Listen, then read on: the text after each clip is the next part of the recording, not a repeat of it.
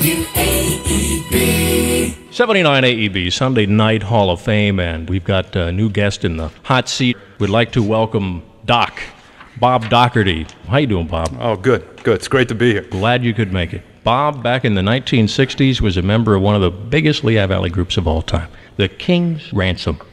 And Bob, maybe you can tell us who some of the group members were back then. Okay, we had uh, Bob Worley on lead guitar, Vince Homick on rhythm guitar, Glenn Zosky on bass, Chuck Hoey on drums, and the last year the band Ronnie Gallon played keyboards for us, and I was the uh, crazy person out front. You were the lead singer. Yes. You're the guy a lot of people have some memories playing in this area. I don't know what memories they have. That's the truth. You guys were a very big local band.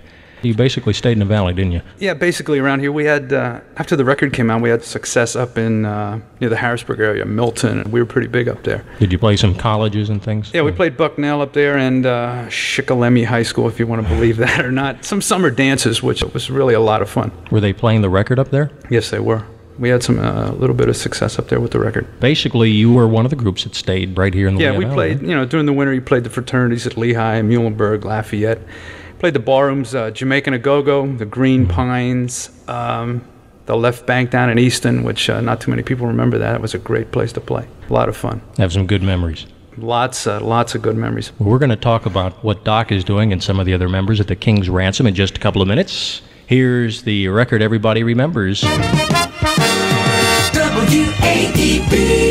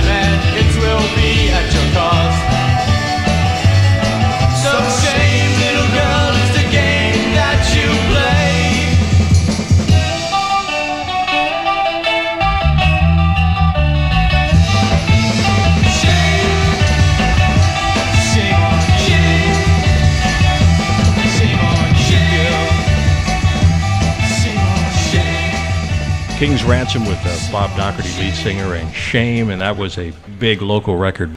I've been asking everybody this. Do You remember how many sold of that? I honestly don't remember. I never, I never got any figures. I really didn't. I think we could have had a little bit more success if there would have been uh, maybe a national national distribution or something. But we just there was just never enough money and It you know, stayed things like that. local, Yeah. right? Integra Records was an Allentown label, and uh, it was owned by four gentlemen right here from the Lehigh Valley, most of them with radio backgrounds. Bob Kratz, Mm-hmm. who's still in engineering and radio in Easton. Uh, Craig Kincaid was associated with the Rust stations, NWAEB, right up until a year or so ago. Jim Merrill, and then Tiger Joe McLean. And Joe McLean's name appears on the record Shame as, I believe, the producer, Yeah, right? yeah, he was down with us in Philadelphia. Yeah, and that was uh, Integra number 101 before we played Robbie Taylor number 103. Now there's one in between there. What's the name of this one? Bob? This one's uh, Shadows of Dawn. Vince sang this one. Vince yes. Homick. Yes. You yeah. were not the lead singer on this. No, I didn't. I didn't sing on this one. I wasn't in the band at the time. That's another story. Do You sit and think in the shadows of dawn as the beams of moon show your life on dawn and your friends are gone when your mind went wrong with your mind so quick and your smile of charm this love's breathing when you're gone, thinking you were strong when you're only wrong.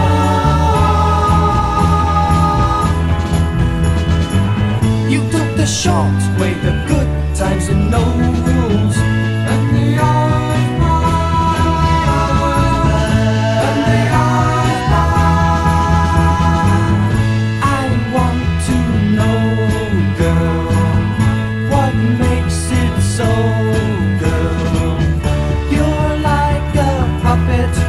On a string you keep tomorrow, wondering if you will be there when she's gone.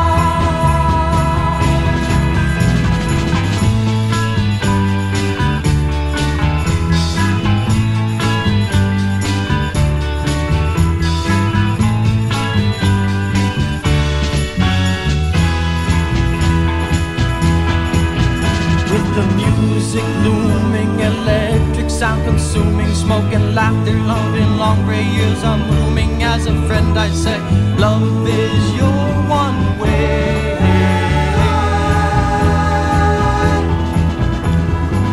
You took the short way, the good times and no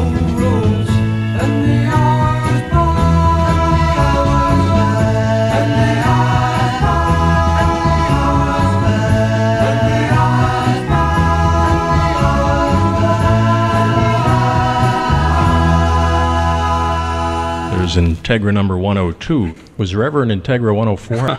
I don't think so. I think it just, you know, there just wasn't uh, never enough money to do the things that they wanted to do. We had a lot of good ideas, but it just never came about. well, we'll have to ask Tiger Joe next time we run into him. Well, you played basically the Lehigh Valley, as we said earlier. You want to name some of the clubs you played in? Let's ring a few bells here. Most of the time, after our manager Mike Homick uh, opened up King Arthur's Court, that was our home base of operations, and we played there. You know, just about almost every week. Played the Mad Hatter once or twice. They were competition, so we didn't play Oh, there yeah. too often. And we played the Purple Owl uh, quite a bit. That was a club I was open for a year or two. Now, Purple Owl was the east side. Yeah, that was an east side of? Valentine. Jay shaking his head at that one. We played a gig with uh, Jay and the Techniques at uh, Dorney Park once. I don't know if he remembers that. I remember it well, and he had a lot of fun. I think Jay, they played down at the court a couple of times too. I remember that. King Arthur's Court was down on Route 309 near Quakertown. That's an auto store now, or auto parts store. You, I was in there. you get strange feelings when you when I you went in by? there for windshield wipers or something once, and it, it was strange.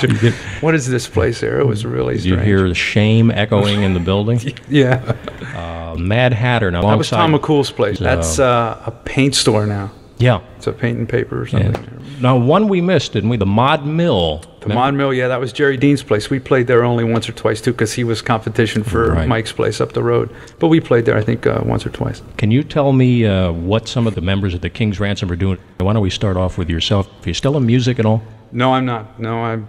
I'd like to be, but I'm. I just. I'm just not. I quit while I was ahead. I had to, well, when the band basically broke up when Vince and I left, I had to go in the service. That was around the Vietnam era, and uh, when I get out, nothing just ever came together. I work uh, for the post office right now. Lots of fun. Are you out on the street as a? Yes, I am. You are a mail People carrier. blowing the horn at me all the time. That's great. Hey. I know him. Hey, here's Doc. Not really, but occasionally it happens. People say hi. You know what uh, Bob Worley? Bob Worley is uh, working with the Steel. I think Chuck is at the Steel. Vince is at GE. Glenn uh, Zosky works for GTE uh, up in Boston as an engineer or something. How about Ron Gollan? He uh, last time I heard he was at Morris Black. I'm not sure. He went on to play with Jinx, who they were real big around here for a while. Mike Homick still has the Yes. barber shop in Bethlehem, does he yes, he still cuts hair as you know. He says he really enjoys it. It relaxes him, and he owns uh, Mickey Kelly's East and West. We had a lot of calls about getting the King's Ransom in and finding Doc. And we found you. I crawled out of the woodwork. Thanks for stopping by and our salute to local hits and local groups, and we shall continue in just a moment. Rod Wolfe's Hall of Fame.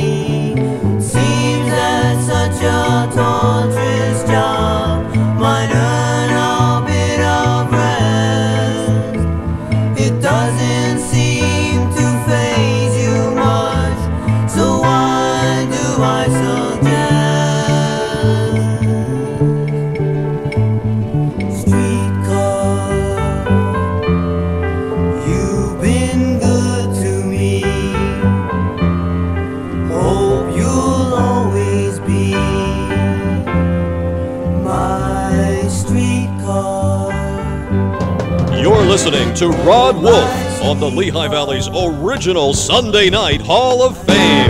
W-A-E-B. The greatest hits of all time from the station that made them famous, WAEB.